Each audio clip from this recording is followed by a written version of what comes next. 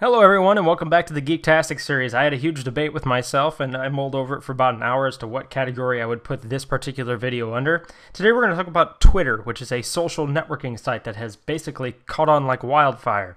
Everyone's using it, and you know what?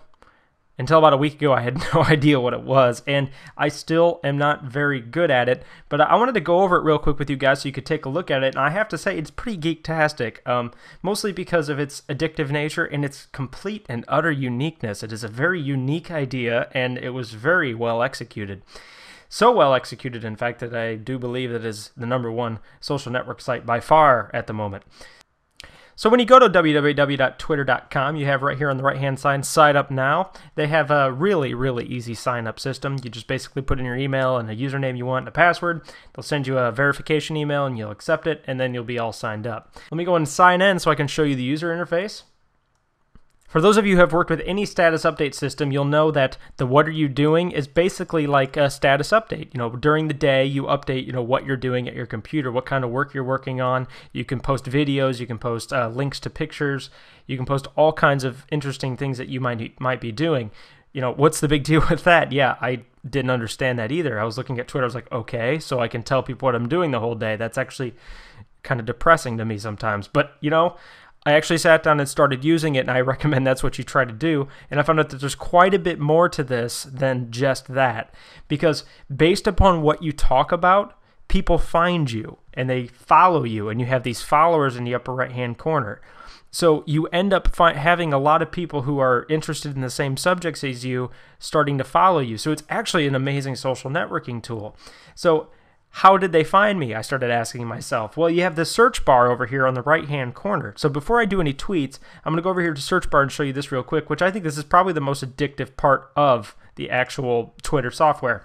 I can search for all the su- any subject that interests me. Say I can type in computer tutorials instantly I am given an entire list of people who have talked about in the past, you know, 24 hours about computer tutorials. Look, I'm actually on the list. But see, this isn't a really popular topic, so the last time somebody mentioned both of those words together was about an hour ago. So let me search for something way more vague and general, such as the economy. And here we have now all of a sudden half a minute ago, half a minute ago, one minute ago, one minute ago, one minute ago. You can literally see in real time what people are talking about. You know, people are talking about, you know, a lot of these are probably advertising, but it's really fun to see what people are saying and talking about. You find somebody who's interesting or says interesting or smart things. And then the cool thing about that is, is then you can click on their username and you can start following that person. And what it'll do is on your homepage, everything that that person says will start showing up again, what's the big deal with that? I can't really describe it to you. I don't know if it just fuels the ego or if it if it's just, you know, kind of cool because I can also send direct messages to this person. If I go to computer, this person said downloading and uploading at the plus at the same time equals one pissed off computer. I can send that person a direct response like at Clarington LOL because I thought what he said was funny. And and that's the kind of thing you can do. You can literally talk to these people in real time and you can actually make a lot of friends. I know it sounds weird, but you'll actually people will start talking back to you and they'll send you jokes and they'll send, you know, arguments. But that's kind of kind of cool because you can really get to know a lot of people here and another thing is, is other people can find you on this. So when you're talking about things throughout the day, people who are interested in the same subjects, let's say you like Xbox 360, you're typing that, you know, you're talking about Xbox, you're talking about video games, you're talking about computers, you're talking about uh, the economy, motherhood, uh, you name it. You can talk about just about anything, and other like minded people will find you and start following you.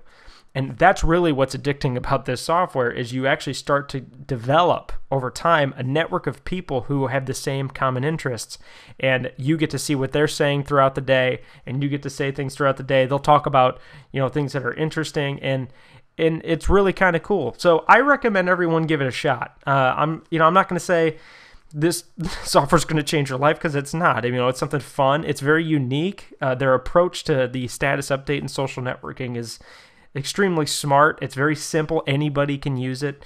Uh, it's very straightforward and it's free, you know. And those are all all the criteria of the Geektastic series, which is why I went ahead and decided to throw it in that category. So if you hate Twitter, that's cool. Um, but there's a lot of people out there who love it, and maybe this tool isn't for you. Maybe you won't have a good time with it, but you know, let people have their fun. That's all I could say. Have a great day, everyone. I hope this video gave you a little more information on Twitter. One last thing before I go, I do want to tell you if you go to the help category on the Twitter page, they do have a fantastic video here that tells you how to use Twitter. It goes through all the tools. It tells you how to send direct messages and replies and and things like that. So I recommend checking that out so you can get to learn to use a little bit. I didn't want to talk about this. I just want to talk about the software in general just to see if you guys would be interested in it. You can go there yourselves and figure it out. And uh, I highly recommend watching it. It's only about four minutes long. And try it. I'm telling you, it's it's disturbingly addicting. Have a great day.